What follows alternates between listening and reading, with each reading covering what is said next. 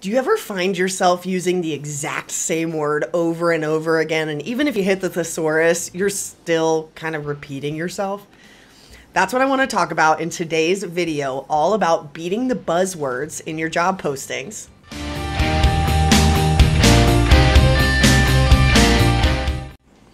Hey everyone, my name is Katrina Kibben. I'm the founder and CEO of Three Ears Media, and today I want to talk about those words where you catch yourself just repeating it over and over again.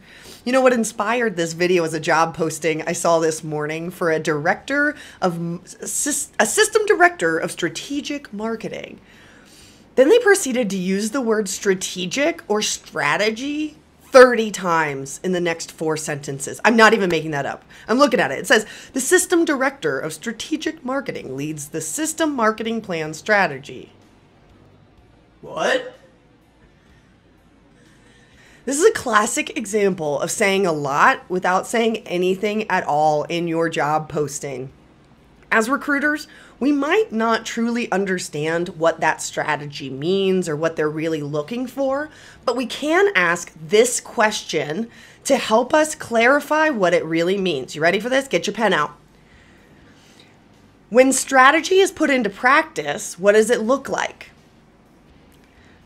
Strategy being the buzzword that I filled in. So when blank is in practice, how is it different? Or what does it look like here?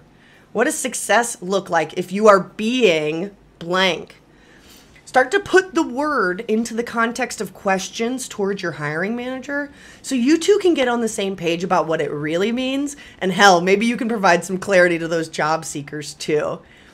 If you found this video interesting, I have a feeling you're going to love everything on this YouTube channel. It's all about writing better content to create better candidate experiences, and I imagine there are a bunch of bubbles popping up right about now that'll give you a few ideas of where to start. We'll see you next time.